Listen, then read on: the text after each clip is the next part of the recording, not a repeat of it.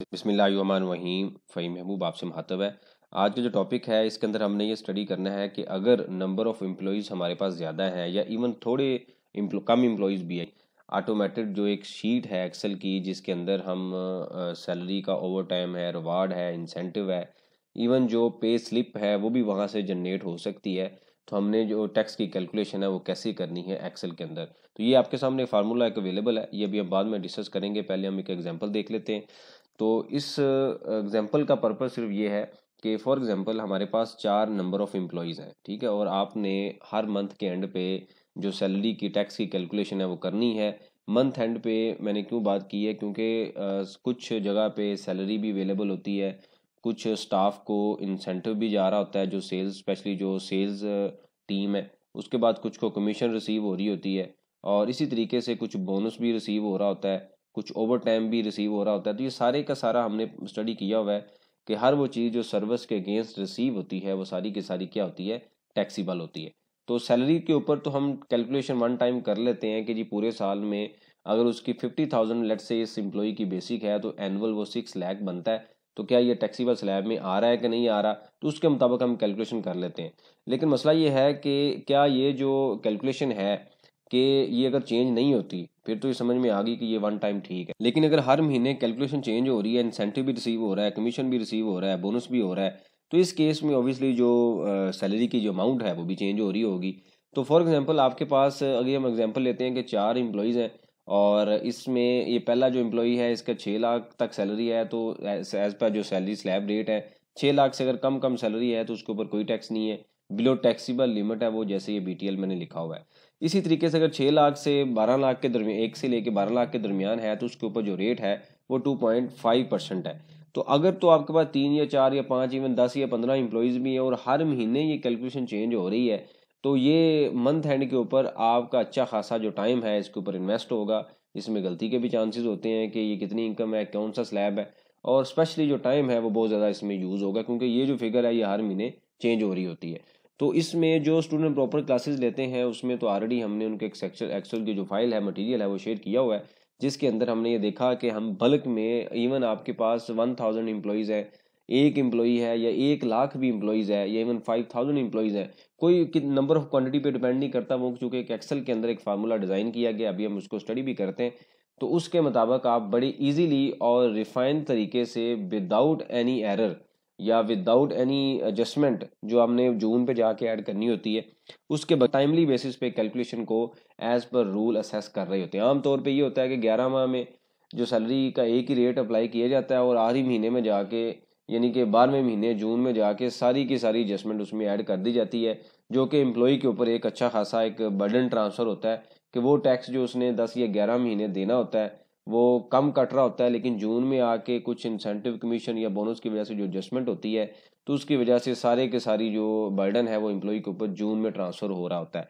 तो equal amount of deduction transfer नहीं होती। पर्पज़ ये होता है कि जिस महीने में इनकम ज़्यादा हुई है, अगर वो टैक्सीबल में आ रही है तो हमारा जो टैक्स है, वो भी उसी तरीके से या उसी इनकम के मुताबिक डिडक्ट होना चाहिए।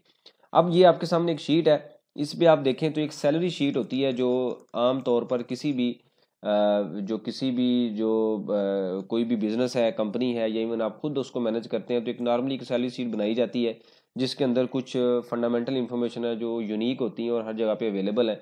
जैसे एम्प्लॉई है एम्प्लॉई कोड अवेलेबल होता है नेम है डेट ऑफ़ ज्वाइनिंग क्या है आईडी कार्ड नंबर या एन नंबर है डेजिग्नेशन है डिपार्टमेंट है साइट है कि अगर आपका एक से ज़्यादा ऑफ़िस है तो वहाँ पे मेंशन हो, हो सकता है। उसके बाद आती है जी सैलरी अब ये जो सैलरी है, ये कौन सी सैलरी है? बेसिक सैलरी है। उसके बाद कुछ इंसेंटिव हो सकता है बोनस हो सकता है ओवर टाइम हो सकता है रिवार्ड हो सकता है, फिर ग्रॉस सैलरी है। कुछ भी इसके अलावा अदर अलाउंसेज भी हो सकते हैं। तो मैंने वो सारे के सारे अलाउंसेज इसमें लिए हुए हैं। तो हम ये कहते हैं कि ये एक एम्प्लॉई है, उसकी 1.8 मिलियन सैलरी है और इसके ऊपर कितना टैक्स कैलकुलेट होगा? अभी हम ये भी देखेंगे कि 1.8 मिलियन चूँकि ये भी फार्मूले से कैलकुलेट किया गया है, कहाँ से आया वो भी अभी देख लेते हैं। इसके ऊपर भी हमारा टाइम काफ़ी सेव होगा, ये कैसे कैलकुलेट किया हमने। तो उसके बाद आता है जी मेडिकल अलाउंस मेडिकल एग्जामेशन हमने स्टडी किया हुआ है कि ten percent as per rule हमें एग्जामेशन अवेलेबल है ऑफ़ बेसिक सैलरी तो 1.8 मिलियन के बाद जो 1.6 मिलियन है, ये टैक्सीबल है, ठीक है? अब ये सैलरी है, इसके ऊपर टैक्स अप्लाई होना है। तो अगले ही कॉलम में क्यू कॉलम के अंदर एक फार्मूला अप्लाई किया गया है कि ये क्या ये टैक्सीबल है कि एग्जाम्ट है? तो अगर आपने ये देखना है कि हमारे कितने स्टाफ टैक्सीबल हैं तो हम सिंपल यहाँ से फार्मूला लगाएँगे। और इसके बाद बी टी एल पे फार्मूला लगाएँगे, यानी कि बिलो टैक्सीबल लिमिट तो हमें पता चल जाए कि ये वो लोग हैं जो टैक्सीबल नहीं है, ये आप देखें तो सबकी सैलरी छः लाख से कम है। इसी तरीके से जब हमने देखा कि ये जी टैक्सीबल है, अब टैक्सीबल के बाद अगला पॉइंट ये आता है कि ये किस स्लैब में फॉल कर रही है। ठीक है सैलरी किस स्लैब में आ रही है। अब सैलरी के जो स्लैब रेट हैं, वो इसके अंदर हमने आर एक शीट बनाई हुई है, जिसमें आप देखें तो ये स्लैब रेट है। कि छः लाख तक ज़ीरो परसेंट है छः लाख एक से one point two million, two point five percent है। इसी तरीके से वन पॉइंट टू मिलियन एक से चौबीस लाख तक, यानी कि एज़ पर रूल जो स्लैबली स्लैब रेट है वो हमने लिख लिए हैं और इसी तरीके से हमने स्लैब को एक नंबरिंग दे दी कि कौन सा सीरियल नंबर है, क्योंकि इसकी बेस पे हमने कैलकुलेशन का फार्मूला अप्लाई करना है, ठीक है? अब आगे जी फार्मूला क्या लगाया? ठीक है, यहाँ पे आपको थोड़ा सा मैं लॉजिक बता देता हूँ। ये मटेरियल जो फ़ाइल है, ये चूँकि जो प्रॉपर क्लासेस लेते हैं स्टूडेंट उनके लिए सारे मटेरियल्स अवेलेबल होते हैं। हर सेक्शन के इसी तरीके से जो फार्मूले डिज़ाइन हैं, जिससे आपकी टाइम सेविंग काफ़ी होती है तो ये उसमें अवेलेबल है। लेकिन चूँकि काफ़ी ये मेरे बड़े कॉमन से क्वेश्चन है, इससे पहले हमने एक्सेल में जो वर्ड्स का फार्मूला वो भी देखा तो वो काफ़ी लोगों के कॉमन क्वेश्चन थे। मैं यहाँ पे आपको थोड़ा सा आइडिया दे देता हूँ कि आप किस तरीके से इसको कर सकते हैं, क्योंकि मटीरियल जो है वो क्लासेज में अवेलेबल है। अब यहाँ पर आप देखें तो मैंने जो फार्मूला यूज़ किया है, वो इफ़ और इफ़ एंड का फार्मूला यूज़ किया है। ठीक है? अब इस फार्मूले की, को अप्लाई करने के कुछ फंडामेंटल रूल्स हैं लॉजिक हैं, जो कि एक्सेल के कोर्स में भी कवर्ड है। लेकिन यहाँ पे आपको थोड़ा सा मैं बता देता हूँ कि कैसे अप्लाई किया। कि यहाँ पे आप देखें तो जो पहला यहाँ से फार्मूला शुरू हो रहा है, वो भी मैंने सिर्फ़ इफ़ से यूज़ किया है और इफ़ के बाद ब्रैकेट है। यानी कि उसके बाद पी टू वो वाला कॉलम है जहाँ पे हमारी सैलरी अवेलेबल है। और जो आखिरी लॉजिक है, वो भी मैंने क्या किया है? सिर्फ़ इफ़ से यूज़ किया है। और बाकी जितने भी पैरामीटर्स या फार्मूले यूज़ किए गए हैं, वो कौन से हैं? इफ़ एंड के। अब ये क्या लॉजिक है कि सबसे पहले हमने ये बता दिया कि अच्छा ये फार्मूला हमने रिवर्स कैलकुलेशन में कैलकुलेट करना है, ये याद रखिएगा, ठीक है? कि सबसे पहले हमने ये नहीं लिखा कि छः लाख से कम है तो बीटीएल है। यहाँ पे आप देखें तो मैंने छः लाख से कम सैलरी बीटीएल है तो एंड पे लिखा है। शुरू में अगर लिखूँगा तो फार्मूला अप्लाई नहीं होगा। तो याद रखना है इफ़ का फार्मूला जब भी अप्लाई करना है तो रिवर्स डायरेक्शन में हमने अप्लाई करना है। हमने ये कह दिया कि अगर छः लाख तक या इससे कम सैलरी है तो वो टैक्सीबल नहीं है, यानी कि वो बीटीएल है। और अगर ये मैंने दो बार बीटीएल क्यों लिखा कि अगर इसके अलावा कुछ आता है छः लाख से नीचे आता है छः लाख के बराबर आता है तो सारे का सारा कहाँ पे फॉल करेगा बीटीएल अब आइए पहले नंबर पे। ये मैंने क्यों कह दिया? हमने दो फार्मूले यहाँ पे क्यों अप्लाई किए? क्योंकि आपको पता है कि स्लैब के मुताबिक छः लाख से कम में सिर्फ़ एक ही रूल है कि छः लाख तक इससे कम है तो ज़ीरो टैक्स है। 1.2 मिलियन से ऊपर जितनी भी है तो 35 परसेंट टैक्स है। तो इसका मतलब ये हुआ कि बाकी जितने भी स्लैब्स हैं वो एक, किसी एक सर्टन अमाउंट से स्टार्ट हो रहे हैं और एक अमाउंट पे एंड हो रहे हैं। तो इस वजह से हमने जो फार्मूला यूज़ किया, वो यहाँ पे स्टार्ट में 12 मिलियन से ऊपर और जो 6 लाख से कम है, उसको हमने दे दिया कि भाई ये तो क्लियर हो, बाकी भी हम लॉजिक अप्लाई कर रहे हैं। बाकी में कौन सा फार्मूला यूज़ हो रहा है? इफ़ एंड का।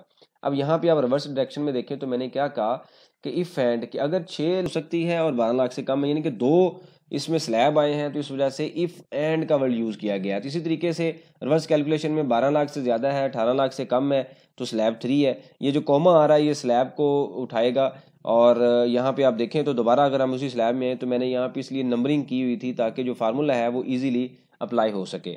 तो यहाँ पे हमारी जो सैलरी है, इस तरीके से आप इसको खुद डिज़ाइन कर सकते हैं। ऑब्वियसली टाइम लगेगा, लेकिन आप इसको बना सकते हैं। कुछ लोग ऑलरेडी यूज़ कर रहे हैं, लेकिन आप इसको इजीली बना सकते हैं। इसमें कोई इतना वो नहीं है। लॉजिक सिर्फ़ इस फार्मूले को समझना और आप इसको अप्लाई करेंगे, लेकिन शीट बनाने में आपका टाइम ऑब्वियसली स्पेंड होगा। ये एक आइडिया है, इसको आप अप्लाई कर सकते हैं। उसके बाद आता है जी वन मिलियन की जो स्लैब है, वो कौन सा स्लैब यहाँ पे इसने उठाया है? स्लैब नंबर थ्री तो आप यहाँ पे आए तो हम देखें तो स्लैब नंबर थ्री में बारह लाख एक से स्टार्ट हो रहा है टू पॉइंट फोर मिलियन पे एंड हो रहा है। तो इसका मतलब ये है कि हमारा जो स्लैब है, वो थ्री होना चाहिए। यहाँ पे भी उसने कह दिया, बारह लाख एक से स्टार्ट हो रहा है टू पॉइंट फोर पे एंड हो रहा है। अब ये कह रहा है जी फिक्स टैक्स कितना है? फिफ्टीन थाउज़ेंड फिक्स टैक्स कैसे आया कि जो बारह लाख तक टैक्स बनता था, यानी कि उस इनकम चूँकि पंद्रह लाख कुछ इनकम है तो बारह लाख तक बनता है तो बारह लाख छः लाख एक का से लेके बारह लाख तक की जो छः लाख की फिगर है, उसके ऊपर two point five percent apply करें तो वो फिगर बनेगी फिफ्टीन थाउज़ेंड तो वो कहता है, जी फिक्स आपकी परसेंटेज ये है, यानी कि फिक्स अमाउंट ये है जो पीछे से आ रही है। और ट्वेल्व पॉइंट फाइव परसेंट वो कहता है, जी, आपका यहाँ पे रेट अगर हम देखें तो ट्वेल्व पॉइंट फाइव परसेंट वो कहता है, जी, इसके बाद आपका रेट अप्लाई होगा। अब ट्वेल्व पॉइंट फाइव परसेंट की जो फिगर है, वो बन जाएगी पाँच सौ चौवन हज़ार पाँच सौ पैंतालीस रुपये ठीक है अब टोटल टैक्स कितना हो गया? फिफ्टीन थाउज़ेंड फिक्स था और चौवन हज़ार पाँच सौ पैंतालीस में ये ऐड करें तो वो sixty nine thousand five hundred and forty five हो गया। अब इसके बाद क्या होता है? ठीक है अब ये तो आपने कैलकुलेशन कर ली। अब इसके बाद होता क्या है कि आम तौर पर जो आ, कुछ एम्प्लॉई हैं जैसे हमने स्टडी किया है प्रॉपर जो क्लासेज हैं उसमें हमने देखा हुआ है कि कुछ आ, जो एम्प्लॉई हैं वो जहाँ पे टोटल जो टैक्स है उसमें से कुछ एडवांस की फॉर्म में उन्होंने पे किया होता है। जैसे कोई गाड़ी ले ली है, कैश विड्रॉल के ऊपर है, कोई प्लॉट लिया है तो उसकी एडजस्टमेंट आती है, वो हम यहाँ पे लिखेंगे, जिसके एडवांस की जो शीट है, वो भी हमारे पास अवेलेबल है। तो हमने वहाँ पे जाके लिखा और लिखने के बाद वो उसने क्या किया, यहाँ पे खुद ब खुद अमाउंट उठाएगा और आर डिडक्ट अब इसका क्या मतलब है? इसका मतलब ये होता है कि जो टैक्स हमने ऑलरेडी डिडक्ट कर लिया है फॉर एग्ज़ाम्पल हम आज नवंबर पे इसकी कैलकुलेशन कर रहे हैं तो हम यहाँ पे अभी करते हैं जी ज़ीरो है। लेट से हम पहले ये एग्जांपल लेते हैं। तो हमारा टैक्स कितना बनता है? Six nine five four five ठीक है? अब इसको मंथली डिडक्शन पे हमने लेके जाना है। तो हमारे पास नंबर ऑफ़ मंथ कितने हैं? फॉर एग्जांपल हम जुलाई पे कैलकुलेशन कर रहे हैं। तो जुलाई से जून तक छः बारह महीने बनते हैं। तो तो हम क्या करेंगे? इसको डिवाइडेड बाय ट्वेल्व कर देंगे। ठीक है? जैसे हम ट्वेल्व करेंगे तो ये अमाउंट हमारे पास आ जाएगी five seven five nine five ठीक है? ये अमाउंट क्या है? ये मंथली डिडक्शन होगी। अब यहाँ से उठा के ये फिगर आप एचआर डिपार्टमेंट को शेयर कर ये यहाँ से आप उठाएँगे और एचआर डिपार्टमेंट को दें और वो सैलरी से डिडक्ट कर लेगा। ये वन आप खुद भी मैनेज कर रहे हैं तो आप भी इसी तरीके से जो सैलरी की अमाउंट होगी उसमें से ये डिडक्ट कर लेंगे। अब अगले मंथ आके आप क्या करेंगे? इसी जो शीट एक अवेलेबल है, वहाँ पे जाके हम ये लिखेंगे तो ये फार्मूला खुद बहुत यहाँ से अमाउंट उठा लेगा।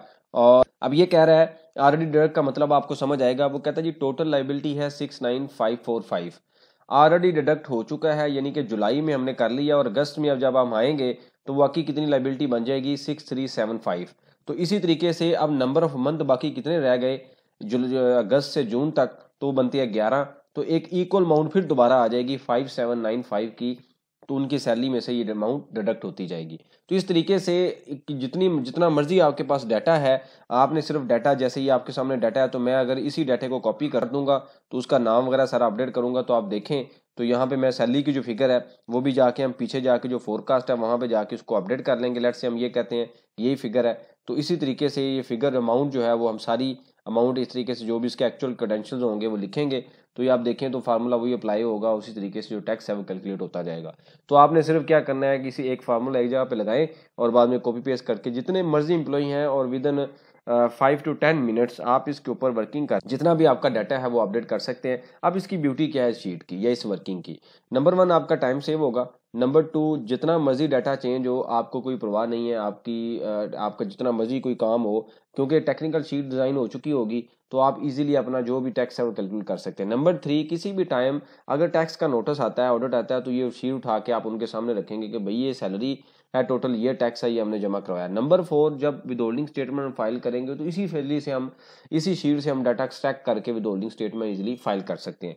तो इस तरीके से जो आप इस फार्मूले को डिज़ाइन कर सकते हैं, इसको दे के बना सकते हैं शीट को। ये बेसिकली एक टूल है जो आपको हेल्प करेगा, क्योंकि ये एक प्रोडक्टिव काम ज़रूर है, लेकिन इसमें कंट्रीब्यूशन आपकी कोई नहीं होगी। वो इसलिए नहीं होगी कि ये काम आपने नॉर्मली करना ही करना है। तो अगर आप अपने टूल को इस वजह से आपने अपने काम को रिफाइन करने के लिए मैनेज करने के लिए, इस तरह की जो टूल है, वो हर जगह पे प्लेस करनी है ताकि आपकी जो कंट्रीब्यूशन है जॉब के अंदर कंट्रीब्यूशन है, या आप इवन कोई किसी को मैनेज कर रहे हैं, किसी काम को, किसी क्लाइंट को तो वो नज़र आनी चाहिए ताकि आप इस टाइम को किसी और प्रोडक्टिव काम में इन्वेस्ट कर सकें।